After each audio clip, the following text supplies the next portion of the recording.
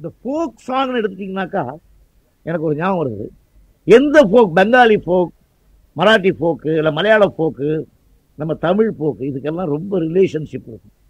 ஏன் இதை சொல்கிறேன்னா நான் ரஷ்யா போயிருந்த போது கூட ரஷ்யாவில் ஒரு பாட்டு பாடினாங்க.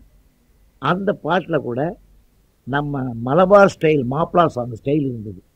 ஸோ இந்த ஃபோக் சாங் மட்டும் அவ்வளோ ஒற்றுமையானது. அதான் தந்தானே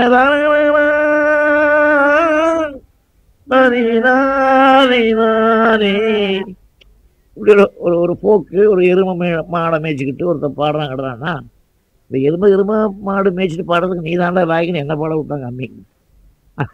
அந்த பாட்டு ஆனால் பலவே அதாவது எஸ்டி பர்மன் கூட கேட்டிருக்காரு அந்த பாட்டை கேட்டு.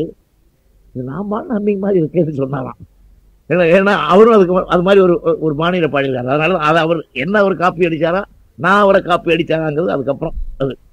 ஆனால் அந்த ரிலேஷன்ஷிப் இருக்கு இந்த போக்கில் அப்படி ஒரு ஃபோக் சாங் அந்த காலத்திலேயே சும்மா ஒரு நாலு வாத்தியம் வச்சு எடுத்த பாட்டு. நாற்பது வாத்தியம் ஐம்பது வாத்தியம் நூறு வாத்தியம் நூற்றம்பது வாத்தியம்லாம் வச்சு எடுத்தாலும் ரெண்டு வாத்தியம் வச்சு எடுத்தாலும் பாட்டினுடைய மெலடி தான் பாப்புலர் ஆகிறதுக்கு காரணங்கிறது என்னுடைய தாழ்மையான எண்ணம். அதே மாதிரி இந்த பாடலில் பி லீலா அவர்கள் நான் சாதாரணமாக எழுபத்தஞ்சு ரூபா சம்பளத்தில் இருக்கும்போது என்னை அவங்க பார்த்துருக்காங்க. இதுக்கு முன்னால் அவங்களுக்கு நிறையா நான் பாட வச்சாலும் கூட அந்த பாட்டில் அவங்க பாடி எனக்கும் பேர் வாங்கி கொடுத்தாங்க. அவங்களும் அந்த பாட்டுக்கு அப்புறம் ஒரு ஹை ஸ்டாண்டர்டு வந்தாங்க. என்னுடைய எண்ணம்.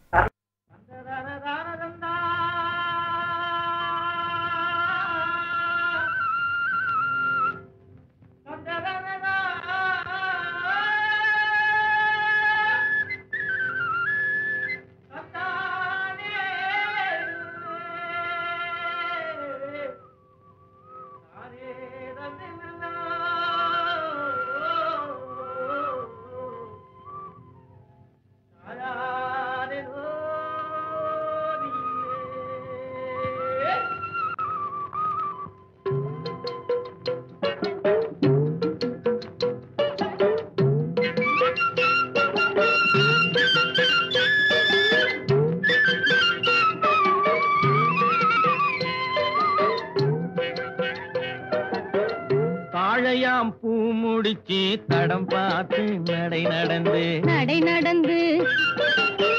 வாழை இலை போல வந்த பொன்னம்மா. பொன்னம்மா. என் வாசலுக்கு வாங்கி வந்தது என்னம்மா. என்னம்மா. தாழையாம் பூ முடிச்சு தடம் பார்த்து நடை நடந்து வாழை இலை போல வந்த பொன்னம்மா என் வாசலுக்கு வாங்கி வந்தது என்னம்மா. பாலை போல் சிரிப்பு இருக்கு பக்குவமாய் குணம் இருக்கு. குணம் இருக்கு. ஆளழகும் சேர்ந்திருக்கு கண்ணையா. கண்ணையா.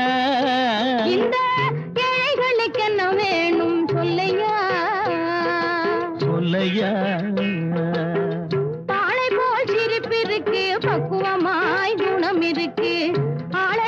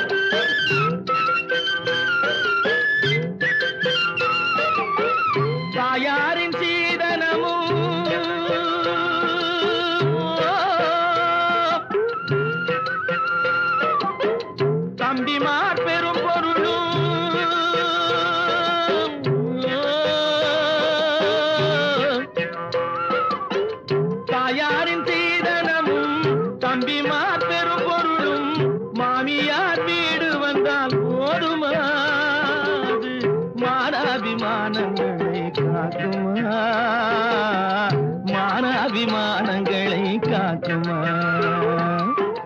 தாழையாம் பூ முடித்து தடம் பார்த்து நடை நடந்து வாழையிலை போல வந்த பொன்னம்மா. என் வாசலுக்கு வாங்கி வந்தது என்னம்மா.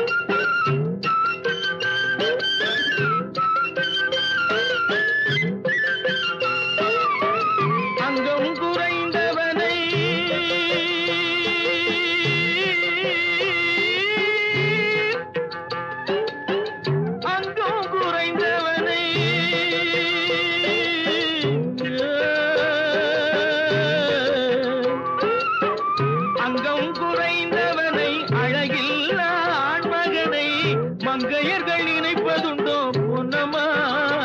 வீட்டில் மனம் பேசி முடிப்பதுண்டோ? சொல்லம்மா மனம் பேசி முடிப்பதுண்டோ?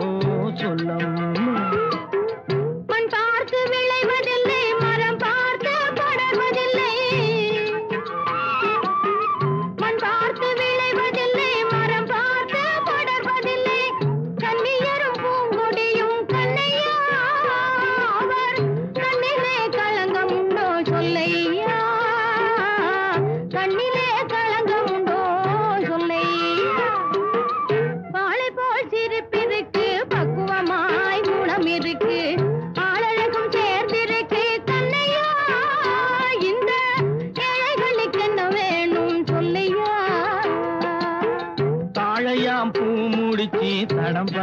பார்த்து நடை நடந்து வாழையிலை போல வந்த பொன்னம்மா என் வாசலுக்கு வாங்கி வந்தது என்னம்மா?